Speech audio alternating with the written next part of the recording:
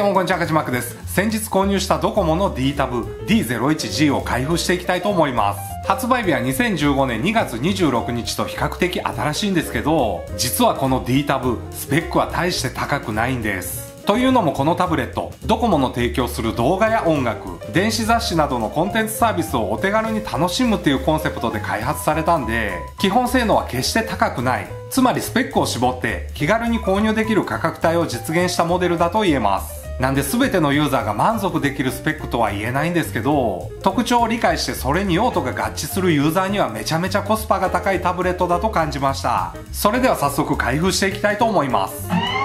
今回購入したのはドコモの D-01G D タブの白ロムです。これ製造元はファーウェイなんですけど、ドコモで販売されているタブレットです。なんで通常はドコモショップへ買いに行くと、ドコモの通信サービスと合わせての契約となります。今ドコモのスマホをお持ちの方ならめちゃめちゃ安く運用する方法なんかもあるみたいなんですけど、僕はドコモ回線持ってないんで、今回は Amazon さんで白ロムを購入しました。ちなみに先に金額を言っちゃうと、14,800円で購入しました。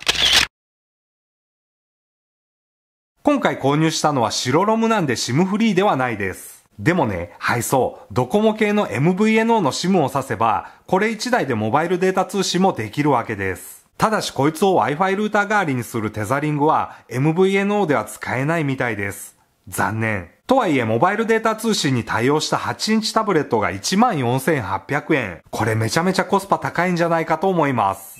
はい、それでは開封していきたいと思います。箱の外観はこんな感じ。はい、それでは行きますよ。せーの。えー、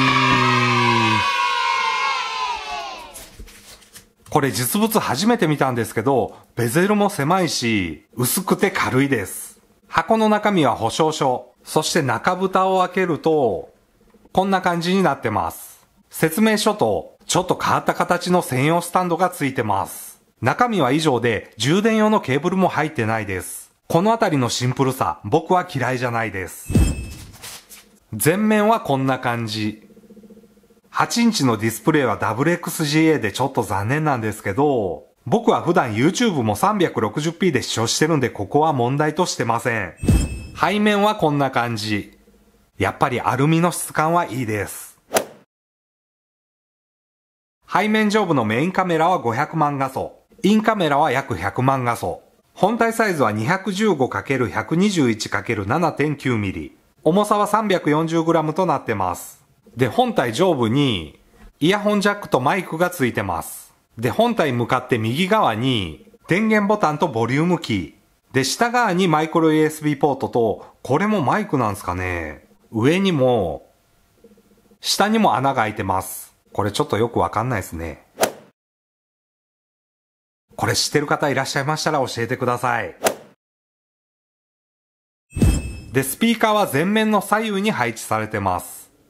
CPU がクワッドコアの、これなんて読むんすかねハイシリコンキリン 910-1.6GHz。キリン？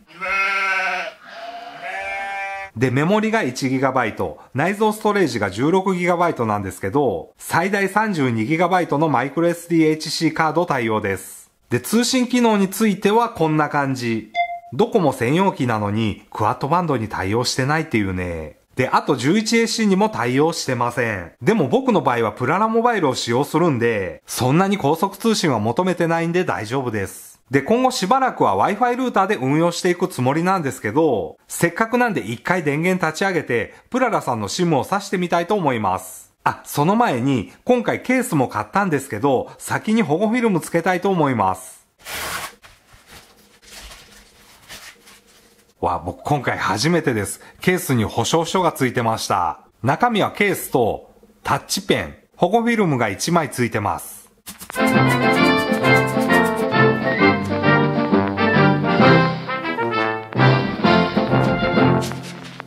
はい、結構綺麗に貼れました。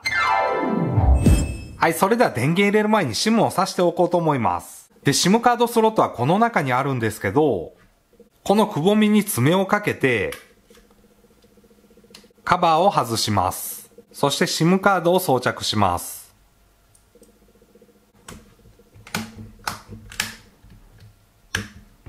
はい、それでは電源入れていきたいと思います。いきますよ。スイッチオン。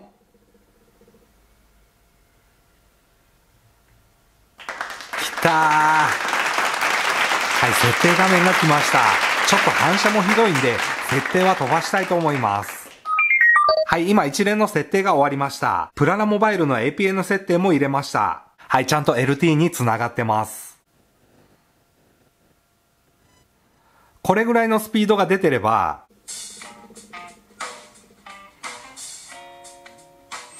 はいどうもこんにちは、かじまくです。ちょっといつもと変わったアングルでお届けしてます。YouTube360p 再生なら止まることはないです。最後にこのケースをつけて終わりたいと思います。くり抜きの精度も結構しっかりしてるんですけど、オートスリープには対応してなかったみたいです。で、あと保護フィルムもおまけ程度なんで、また気になるようなら買い替えたいと思います。で、今回も相変わらず僕が8インチの Android タブレットに求める用途っていうのは、外でも快適に YouTube 視聴なんで、プララモバイル LT 定額無制限プランとの組み合わせで十分じゃないかと思ってます。確かにちょっと見てみると、ディスプレイの解像度は低いし、気になるほどではないんですけども若干もっさりしてます。でもディスプレイの明るさは十分あったし、スピーカーもそれほど悪くありません。でも用途によっては僕みたいにバッチリハマる方もいらっしゃるんじゃないでしょうか。必要最低限にスペックを抑えてローコスト。結構いいコンセプトだと思います。今回ご紹介した D タブの白ロム、一応下に Amazon さんのリンク貼っておきますんで、気になる方はチェックしてみてください。今、Hulu 見てたんですけども、アプリもちゃんと対応してました。で、やっぱり今時のタブレットから比べるとスペックは低いし、ディスプレイの解像度もいまいちです。なんでやはり安価なタブレットという認識が必要で、過度の期待は禁物です。とはいえ、モバイルデータ通信が可能な8インチタブレットとして1万5000前後っていうのはかなり破格だと思います。しかもドコモユーザーならめちゃめちゃ安く運用できるというお話も聞きますんで、もしも気になるドコモユーザーさんいらっしゃいましたらぜひともネットで調べてみてください。で、僕はこのタブレットを外で動画視聴するために使います。なんでこれから大切に使っていきたいんですけども、もうすぐそこに迫ってる夏、車の中に放置することもあります。そんな時も1万5000円程度のタブレットなら、ちょっとだけ不安も軽減できそうです。ヨガタブレット2はこいつの倍ぐらいの価格してたんで、今回僕の動画視聴専用機には適材適所である安価なタブレット、ドコモの D タブに買い替えましたっていう動画でした。はい、今日も最後までご覧いただきありがとうございました。また次の動画でお会いしましょう。かじまくでした。